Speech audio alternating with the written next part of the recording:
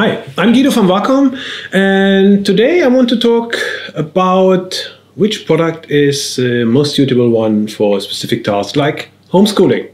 So this question comes up a lot in uh, in recent times. So uh, yes, I want to do use a tablet for homeschooling and to work on my school content, uh, like on paper, but what tablet is the best in your portfolio? So because we have a wide range of tablets and Today I want to focus on the, I think, the most suitable tablets for that specific task. This is on the one hand is the Intuos tablet, the Wacom Intuos tablet, and the Wacom One interactive pen display. And this is already the, the basic difference, the key difference between both products. The Wacom One is an interactive pen display, so you're writing directly on screen, and the Intuos is a classical pen tablet. And it's difficult to say um, which product is best for which task. So basically, uh, I want to describe the key difference. The key difference between both products is on the Intuos, you write on the tablet and your eyes are focused on the screen. So you're focusing on the screen contact.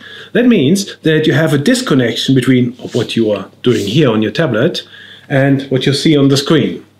So this is basically not like on paper. So that comes to um, the fact that you need some training to get used to this hand-eye coordination. So you need uh, you have a learning curve basically.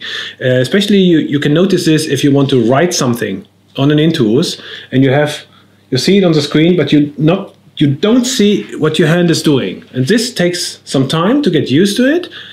Um, based on my experience, it takes between three hours and three weeks. It really depends on personality.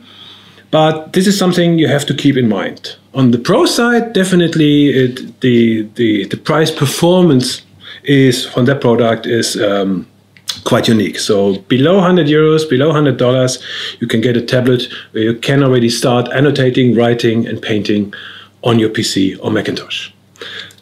So if you're having difficulties or if you want to avoid the learning curve, if you to start off directly, I would rather prefer an interactive panel display like the Wacom One. Slightly higher price point, about 399 euros or US dollars, but you can, since it is a screen, so you can either have um, duplicate your screen or ex extend your screen, you can use the pen to write directly on screen like you would do on paper. So especially if you do handwriting or if you do precise annotation, an interactive pen display like the Wacom One is, in my opinion, the preferred tool of choice.